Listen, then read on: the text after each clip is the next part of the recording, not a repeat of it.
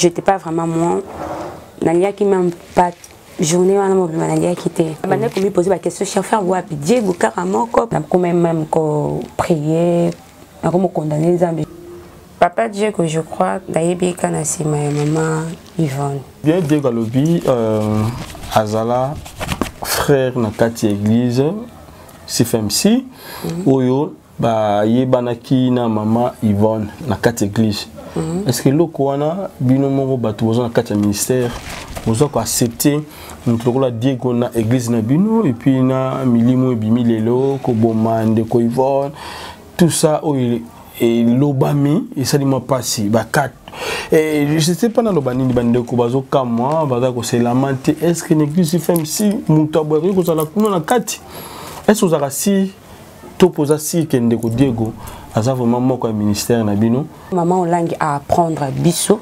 première fois mama yvonne akutani na papa diego na chambre de prière et directement azwi ya mimie na ndako na ye ezalaki déjà na relation moko bazali nango à part ministère et comme azalaki beaucoup plus mama mama andolinga komema bato na ministère et tout baprier mm -hmm. donc alukaki peut-être kokotya ye na ministère maintenant ke bakutani na ministère Maman Yvonne, aza na bana combien euh, Trois. Trois. Ouais, garçon et deux filles. Garçon et deux filles. Deux filles, yeah.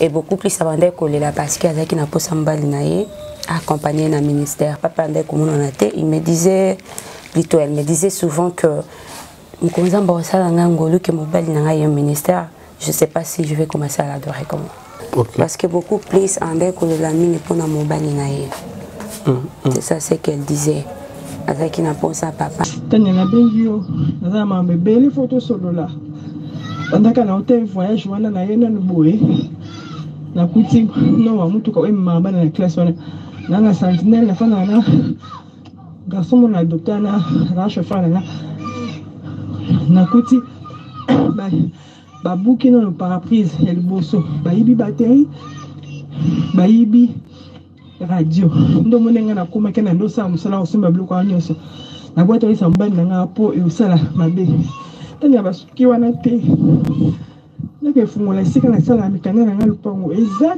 te ata document moko yebisaka na blamba na ya ndenge nde omoni nga lelo kutu na ke ata conférence te nakimi mbongo na cadastre nake signale nayebisa ngai fo naye na mbongo nafungola dossier bakoma ngo na journal nde basalaka procédure na bango apres batinda bato na bango cadastre baye awa ba Tangi photo. Na minute oyo naza na eloko te. Il faut na bala peut-être na semi na perdre le pongo na loba mbanda na ngai libala ngai ya kufa. Na minute oyo naza na mbongo te. Na kozwa kaka mbongo vers ba le 25 le 26. Mpo na kotisaki bilo moyi ba opesa ngai mbongo ba le 25 le 26. Ce moyen eza ata na mbongo oyo ofuta nini euh, fret. Nina ngata nga na besa 500 dollars ata oyo etika likolo 200 wana so nafuti yo fati nakozongisela mpo na bana deya protesis na mito na suki ya osuka jour oyo ozwa temps ndenge nga na explike mamu nyonso ndenge elekani naza na ndako a est ce que mongongo tozoyoka oyo touti koyoka ezali ya mama yvonne mhm. c'est vrai message ya diego epuis na yvonne tuka ezalaki benda bika hmm. nakomaki mpe kokanga ye na bamessage ya bango nyonso mibale sans pourtant eloko moko ezala na se alongola chauffeur na ndako na ye atya ye ti na ndako oyo ya ye moko patronne na bana ya chauffeur diego alongwa na ndako wana na bana akoma kovanda pa yvonne okay. mama mm. tokende tozonga bolingo nini oyo oh, patron na kokolakisa chauffeur ntina modele wana ezala mwasi to mobali ezala leson eleka boye lokola lisolo te mm. so tokei na makambo nde balobaka na bible le salaire du péché c'est la mort Eye ONG Vida elanse bongo opération Sunga orphelin na 1 dollar alia amela alata initiative de maman Emily Seti Mayinga mwasi nzambe na 1 dollar na yo tu peux sauver une vie notez bien descente ekozala bongo na ba orphelina mokolo ya le 24 décembre 2021 mais soki tosala bolamu livre ya souvenir efungwama même après la mort même après retour ya christ yaya misala na biso etemone biso liboso na nzambe bien aimé Total ONG Vida a organisé activité 1 dollar pour nos orphelins. Le mois de décembre est juste à la porte. S'il vous plaît, veuillez contribuer votre 1 dollar. Avec 1 dollar, tu peux changer la vie des enfants. Merci na maman Emily Setmainga, Nzamba Pambolayo mpo na ong vida na 1 dollar 1 dollar seulement ekopermettre ong vida bakende bacollecte yango bakende kopesa baorphelin na opération monene oyo bakosala le 24 décembre ya année oyo nakola na mwa mpasi me nazala orphelin te nayebi bongo siko oyo azangi baboti celui qui donne aux orphelins prête à l'éternel toza na mposa tosepelisa bona 1 dollar ya pamba ekofutela orphelin mo classe topesa 1 dollar ya pamba mpo na bonne année orphelin azanga loso te soso te fufu ya kolia te tobimisa crise kati na biso topesa na oyo tozala 1 dollar nalinga orphelin yango nalobi 1 dollar na biso ya nde naoloba boye benga na nimero wana opesa 1 dollar no ndenge nazopesa tout à l'heure soki ozalaka motema malamu ya kosunga tala kanal malamu ya kotina mbongo na yo tozali bongo na mpesa ebank airtel money bana nyonso ya canada to états-unis bokotina oyo ya koboya kopesa 1 dollar na ong vida mpo na kosunga bana etike faso na kopapolela ye akolapa c'est le pasteur lite ya kanda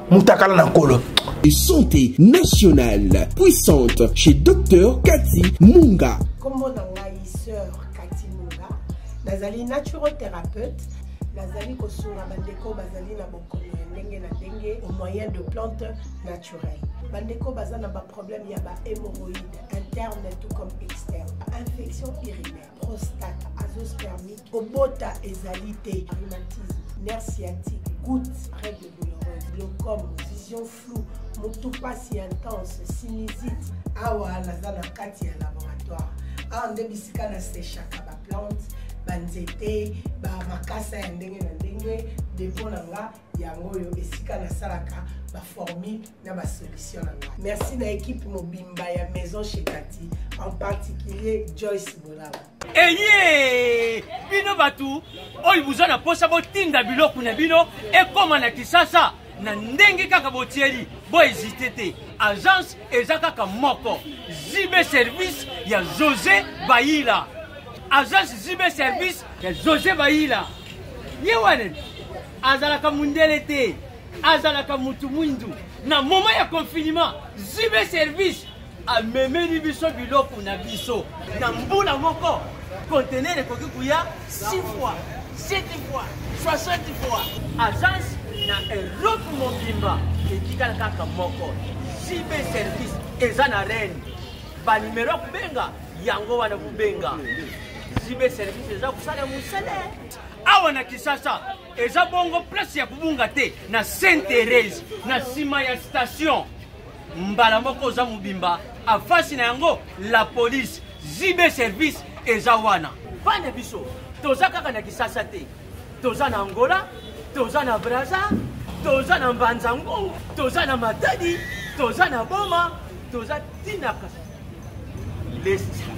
bango na moma ya confinement na bango na bazansi na bango balali biloko eye te ekomi nakezwa ya ngai to bacongolais boyebi baréalité nini topase na yango na mboka soki nga simple individu nandimi kozwa bana oyo nabokola na ainsi dit l'éternel soki l'état se décide tomona su bafaser na nzela te c'est difficile ya kosala yango nga moko c'est poussea nazolanse appel na bana nyonso ya nzambe mpo na classe ya bana oyo mpo na loyer na bango kolata mpe kolia na bango naosenga na bato nyonso baza cœur sensible mpe baza na motema kosunga basunga biso mpe basalisa biso toza na commune ya kalamu quartier kauka référence ya monene tokangami na université kimbangiste avenue nkombo na yango eza marin numero 16 numero ya telefone na biso mpo na bato balingi bacontacte biso mpo na badetail mosusu eza plus 243 89 72 32 229 nzambe apambola bato nyonso oyo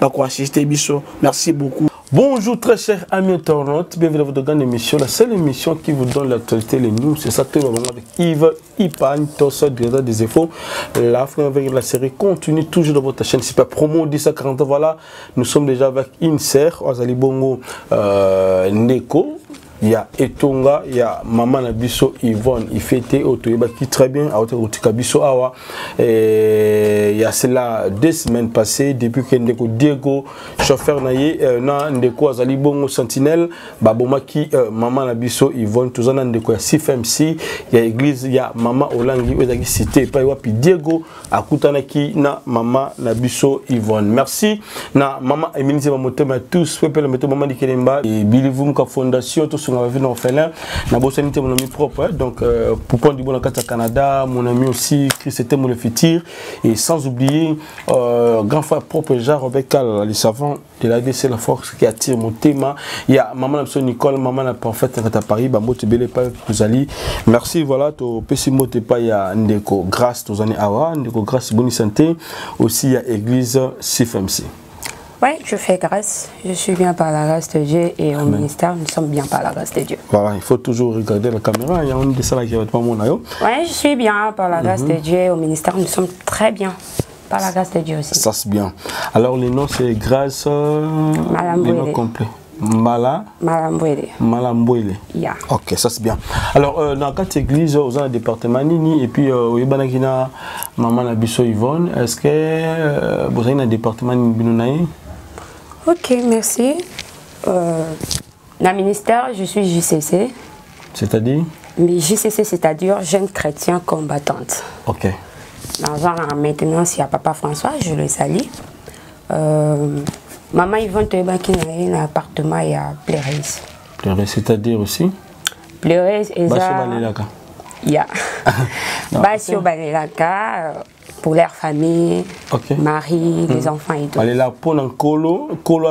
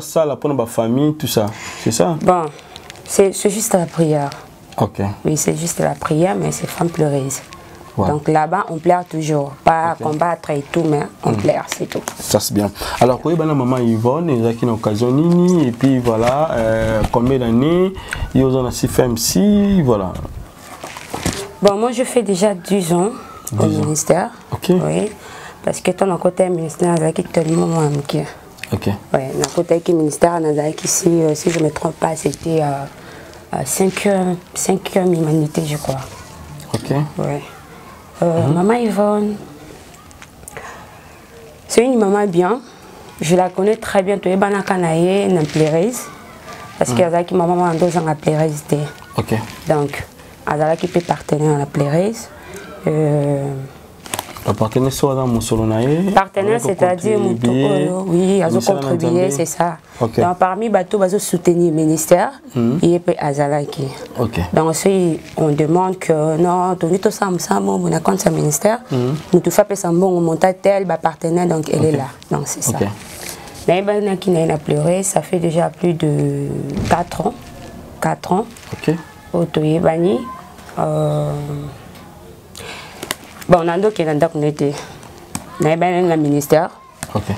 se voyait là-bas on parlait au téléphone donc abandaki kolinga ngai mpe tellement trop donc ando obengaka kaka petite okay. ouais ando obengaka kaka petite donc c'est un peu ça ce que je peux dire voilà na kati ya ministère hmm, est ce que oyebaki ndeko diego azali mpe moko kati na bino na kati ya ministère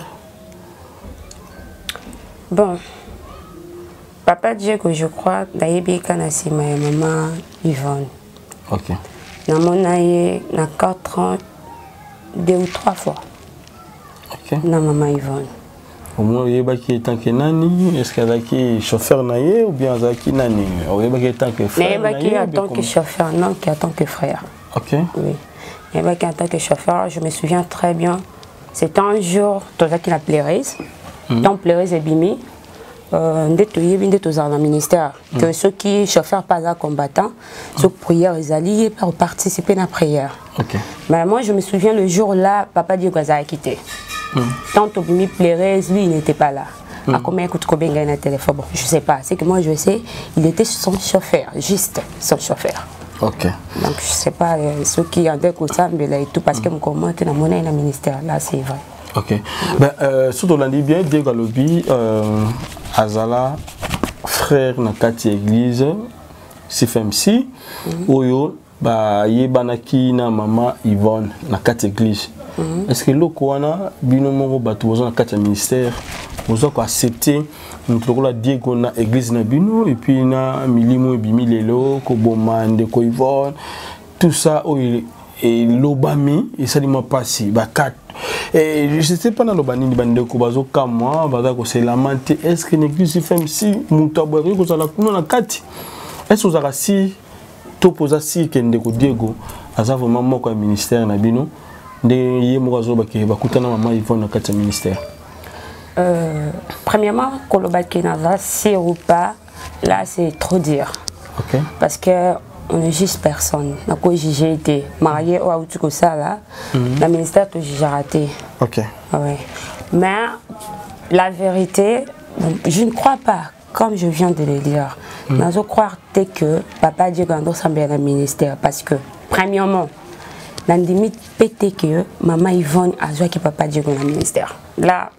Je crois pas. Ah, pouvez biso alors na nini?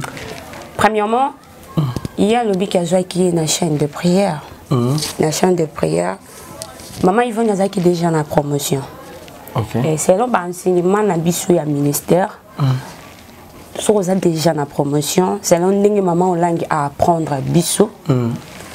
Je crois pas que première fois mama Yvonne akutani na papa Diego na chambre de prière et directement azui ya meme na ndako na ye ya pesi ba responsabilité wana nyonso je crois pas ma ndenge azoloba bake bakutani na chambre de prière soki otuni ye que oui oando osambela ministère pesa biso badetail parce que ministère so osambela kuna to tokanga yo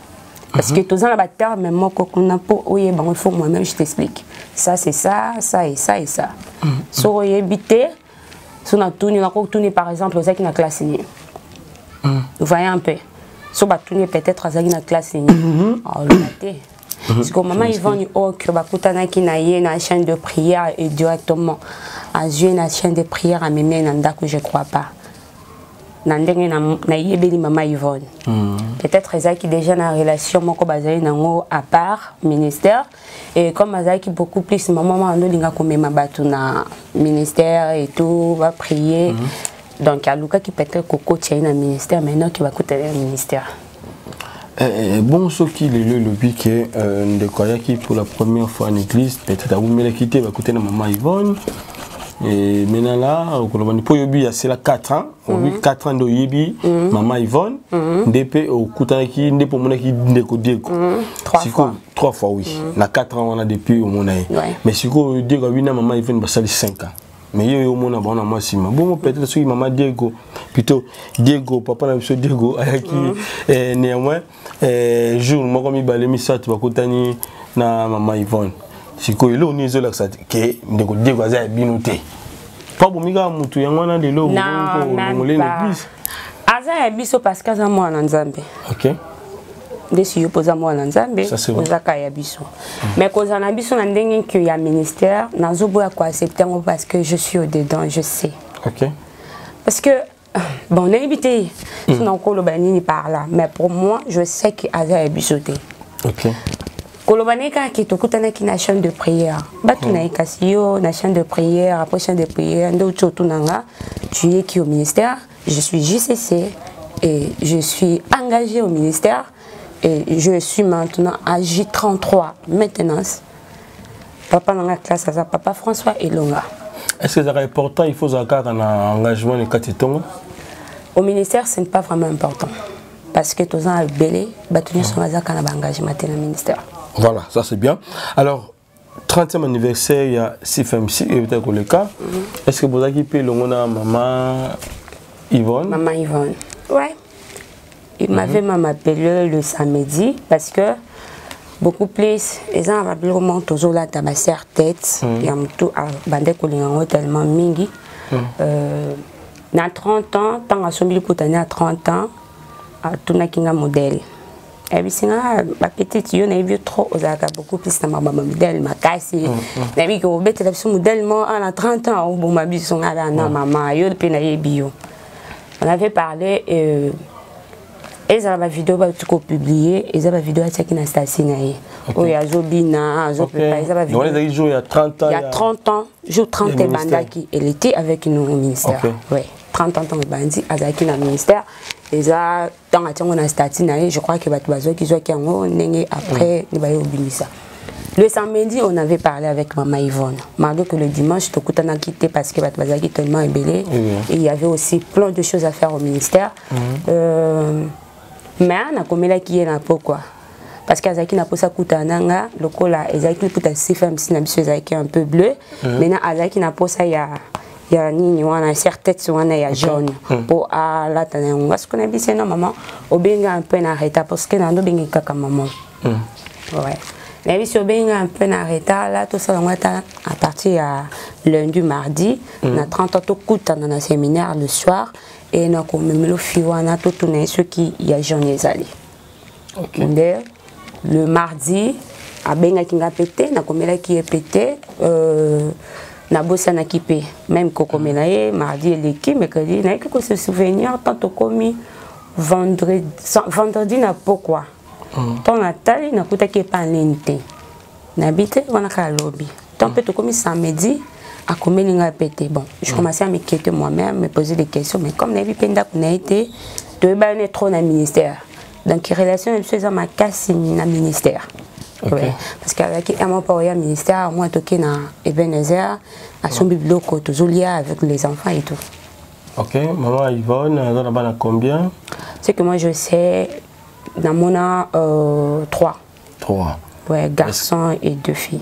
Garçon et deux filles. Deux filles, yeah.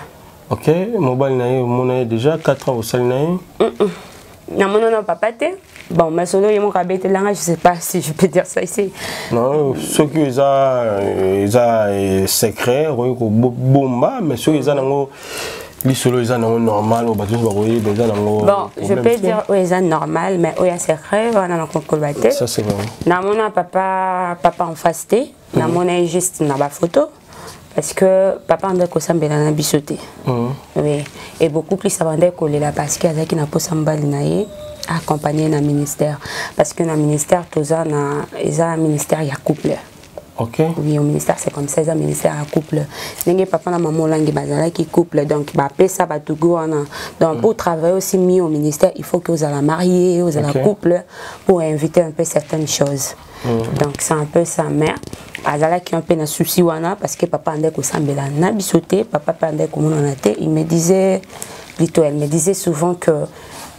Mkonzamba osala nga ngolu ke mobali na ngai yo ministère, je sais pas si je vais commencer à l'adorer comme Ok. Non, c'est ça c'est comment je sais. Mais natikala omona papa te. Eh, mobali azali na religion nini? Islam je crois. islam yeah. donc mama ivana ndo asala effort ya kozwa mobali ni alongoli na islam akota ye ministère ok mm. atikala kozwa chance wana te Bon, c'est que je peux dire non, j'ai chance en été parce que si nde toyoki basango oyo papa totikali komona ete na ministère uh mhm. -huh. oui c'est pour cela mpe akotaki na appartement ya pleris parce que ntango appartement ya pleris ebandi na 2012 mhm. wana biso tokoti ministère sika ah, to tokoti wana nde bamama baleli babandi mama olangi ye kozwa vision ya mhm. pleris nde ebandi etant toye kokuta na ye donc eloko epusa ya kota pleris eza mpona mobali na ye ok oui. ah.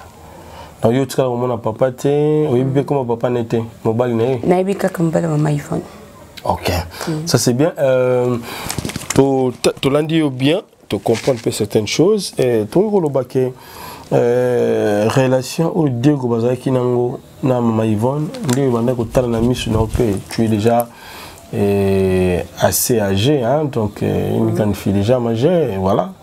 Est-ce que na misu na yo komona peut-être ba photo oyo monaki mhm. ya maman Yvonne na Diego, est-ce que vous croyez que croire que bolingo ko na kati on a relation amoureuse voilà. Bon, nde nauti koloba namona diego trois fois mm. trois fois ensemble na mama yvonne euh, bon nayebi te atikala mpe koyebisa ngai yango te mpo ngai nayebi abandi kolela mpo na mobali na ye mm. aya ministère mais koloba que na bafoto toki komona na nsima awa ebimi là mm. vraiment je ne sais pas mais natikala komona eloko moko te ya suspect entre mama yvonne na papa diego onga nayebi azalaki chauffeur na ye mhm. ande koya kotika ye na ministère eye akenda mpe kotika soki bana na classe c'est ça ce que moi je sais mais mhm. koyeba ke babandaki kobima la je sais pas e na baoyo tozomona na baoyo tozoyoka la aza pe te pour le moment donc moto akoki koloba verité ya solo eza kaka ye moko diego wana na nzambe na ye moko mama yvonne mm. na minute oyo diego peut dire tout ce qu'il est en train de dire là parce que mama yvonne n'est pas là okay. alors moto akoki kocontredire ye aza te mm. mais abosana te ke nzambe azali ça c'est bien alors jour mama Yvonne akufaki ozwaki nouvelle yango ndenge nini mpe ozalaki wapi voilà bon jour mama Yvonne akufaki ezalaki déjà tosilisi 30 ans sunga biso ozwa mpenza ndeko bien mhm. eza témoignage hein? jour mama Yvonne akufaki je crois ezalaki déjà après 30 ans tosilisi 30 ans on était est-ce que bozalaki na retraite non mama Yvonne azalaki na retraite te te retraite ezalaki te ok na tete ezalaki te tozalaki déjà tosisi 30 ans Euh, on était vraiment fatigué totuki koleka na deux semaines ya milulu na biso ezalaki ya makasi ya milulu na biso ya makasi ezalaki ya 30 ans et on était fatigué j'étais à la maison j'étais toujours assis là vous êtes là okay. nabandaki kofina juste téléphone c'était une amie au canada euh, sœur myriam ye nde moto akomelaki nga non akomelaki nga te apiblie hmm. ntango apiblie abika je ne crois pas mama yvonne ondima te ke yo nde moto okeyo to namoni namoni na foto na bino je crois pas nandimaki yango te nakomeli ye na message abisi nga grace c'est vrai nauti kozwa information na siko comment ça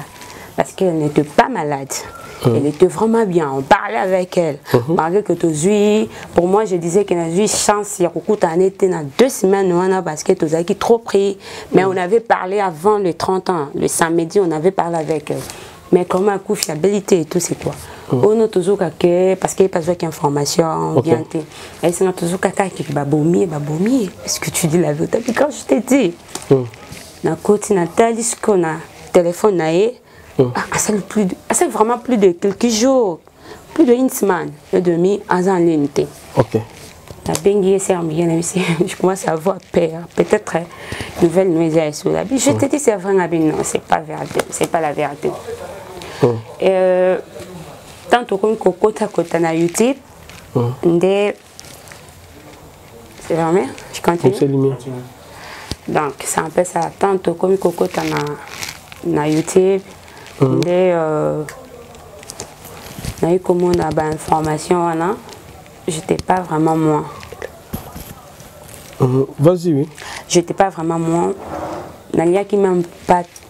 journée wana mobima naliaki te ntango hmm. euh, nazwi nouvelle wana ke chauffeur nde moto abomi ye nabandaki hmm. komipose baquestion chauffeur wapi diego kaka moko parce que mame diego wana ntango bazalaki koyana hmm. une fois toliana ye déjà na na ebenezer ah, donc ebenezer eza restaurant eza na kati ya ministère ok oui une fois toliana ye déjà na kati ya ministère na ebenezer na trois fois wana une fois je me souviens ezalaki na kati ya ministère Mmh. qu'on avait mangé avec papa Diego et maman Yvonne. Mmh. Et maintenant, je me dis, est-ce que c'est Diego Parce que nde diego azalaka na mama yvonne na trois fois oyo namona bango je crois pas ke akosa eloko wana hmm. mais nani asali yango nde ntango nayoki non chauffeur yango diego vraiment j'étais pas moi euh, je vraiment pleurer nakoma même ko prier nakoma condamner nzambe je dis mais comment moto ozalaki na ye na 30 ans azobina tozalaki ne tellement bien à bonne santé comment comment comment vraiment j'étais pas moi c'est que je peux dire j'étais pas moi et jusqu'à maintenant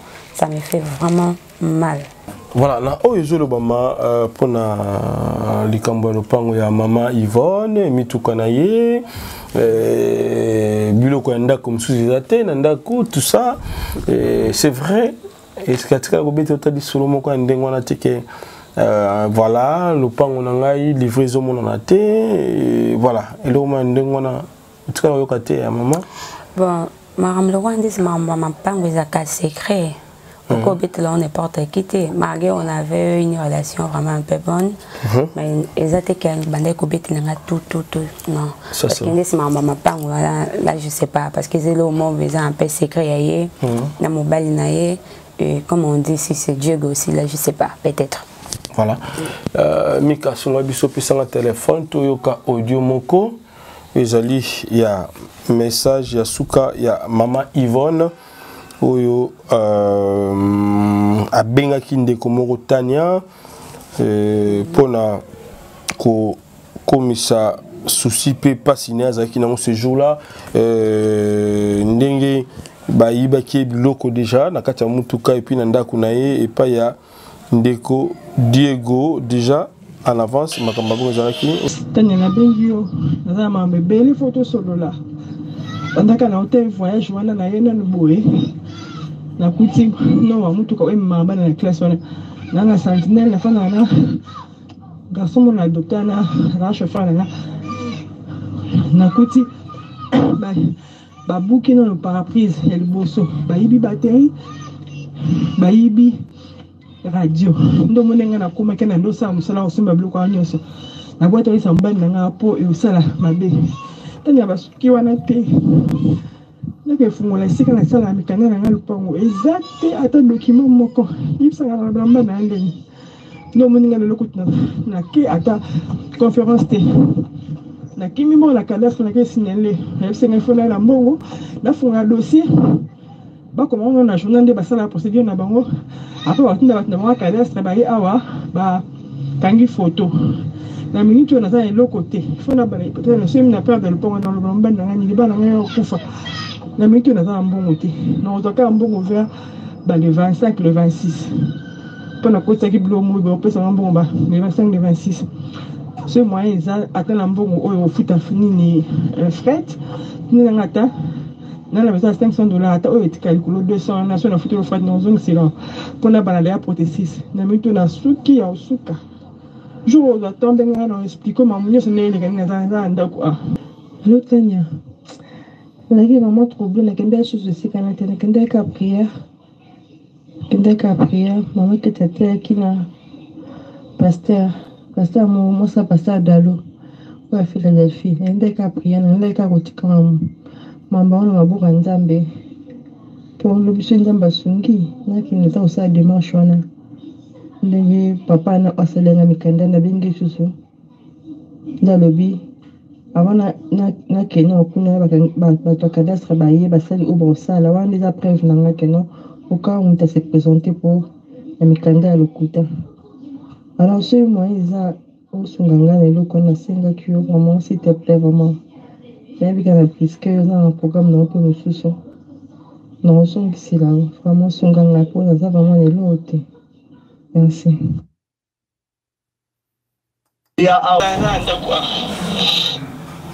Voilà, Tolandi, euh, euh, voice ya ndeko na biso euh, Yvonne toyoki ndenge alobi mika bajinde toyoki ndenge mama yvonne alobi euh, wana eza doléance na ye epai ya ami je sais pas soki eza ami be ndeko na ye alukele 500 dollars pour ke akende réglé basituation ya mabe eza na kati ya ndako euh, nayebi te ndeko grâce est ce que mongongo tozoyoka oyo touti koyoka ezali ya mama yvonne mm -hmm.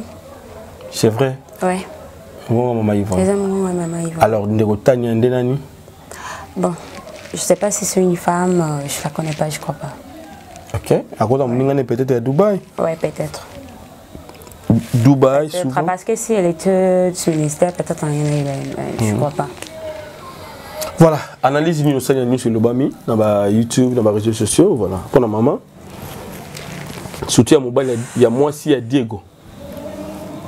oyo diego mwasa diego analyse nini osali par rapport badire na ye papa yves mm -hmm. euh, je sais pas so nakoloba ndenge nini vraiment na oyo toyoka na internet na oyo ezobima na oyo nga nayebi malgré babi que la parence est trompeuse ma je n'ai jamais vaincu quelque chose ya mabe avec mama yvonne mm. euh, d'abord c'est une maman un peu doux hein? mm. kaka ndenge ozoyoka ye na audio wana alobaka un peu malengazalaki mama moko douce toloba douce plutôt mm. donc c'est un peu ça donc euh, kaka nde ozoyoka ye na azoloba na audio mm. eza façon na ye un peu ya koloba ata azoloba yango na kolela mais alobaka un peu douce comme ça donc hmm. euh, nayebi te soki ezosala nao mpasi esala mpasi ya koyoka makambo papa diego azoloba na mama na biso mama yvonne mama oyo toyebaki quand elle plaire là au ministère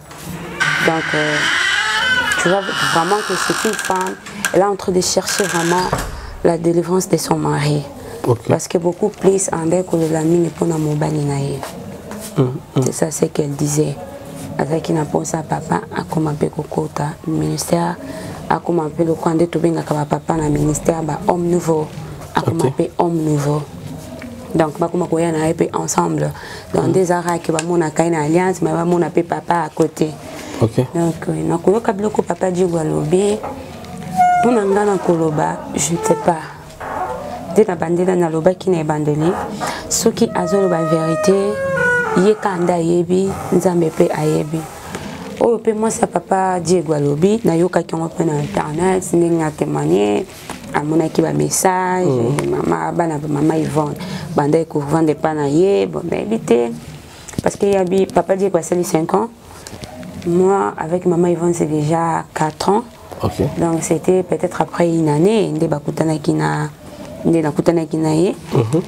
nayebi te bon natikala omona mama Yvonne na bana 6 te 4 te 5 te okay. non natikala omona ye bongo te alors euh,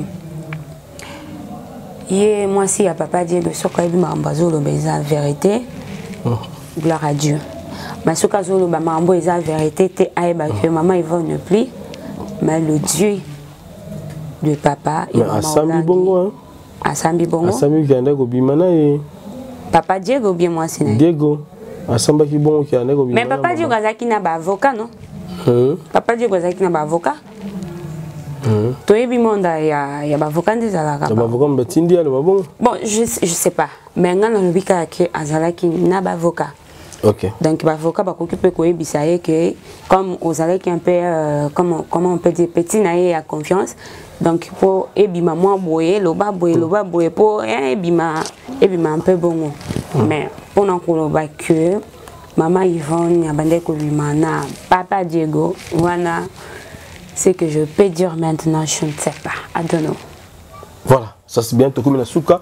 Ben toyoka audio ya ndeko oyo azali bongo mwasi ya ndeko na biso Diego na Lubumbashi. C'est parti. Diego wana oyo abomi Yvonne Aza papa ya bana na nga, tobotani bana misatu. Andy ayaki kozwa mosala epa mama Yvonne. Ayaki kozwa mosala epa mama Yvonne, abandi kosala. En tout cas ezalaki Benda Bika. Mm.